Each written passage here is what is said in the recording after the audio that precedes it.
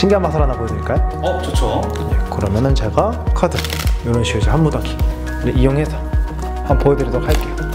그리고 카드 제가 이런 식으로 좀 잘 섞어줄게요. 이렇게. 그리고 혹시 괜찮으면 카드 그냥 아무거나 가져가시면 되고요. 네, 마음에 드세요? 그리고 그거를 카메라에 딱, 아, 저안 볼게요.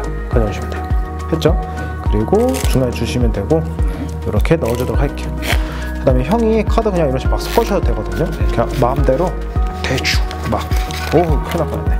제가 드릴 테니까 네. 예, 카메라에서 벗어나지 않게 잘 섞어주시면 돼요. 아, 완벽합니다. 뭐 힌두도 괜찮고 리플도 괜찮고 네, 다 돼요. 오케이 이렇게 괜찮아요? 네. 그 다음에 이제 어떻게 할 거냐면은 자, 이렇게 할게요 이거 솔직히 제가 중요한 게 아니라 형이 중요한 거예요 네. 형이 이렇게 하다가 원할 때 멈출 거예요 네. 직접 해보실래요? 아니, 제가 할까요? 형이 할까요? 음 제가 할게요. 네, 쭉 가다가 원할 때 멈추세요. 네, 그대로 손 내려주시면 되고 거기 마음에 들어요? 네. 나머지 는 안 쓸게요 네. 여기가 마음에 드시는 거죠? 네. 그렇죠 그리고 그거 그대로 손 펴주시면 되고 이 정도가 남은 거죠? 네. 그리고 이번에도 이렇게 할게요. 또 이렇게 가서 멈춰주시면 되는데 잠깐만요. 근데 여기서 이렇게 하면 좀 많이 걸리잖아요. 그러니까 음. 되게 좁게 한 세 손가락 정도만 탁 해주시면 돼요.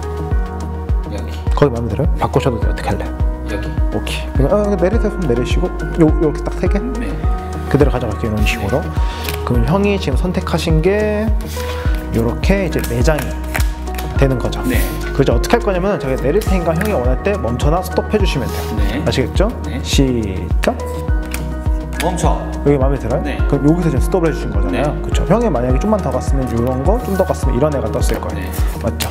형 혹시 고르셨던 카드 뭐였어요? 이 클럽. 이 클럽 보게 되면은 네, 정확하게 이 와.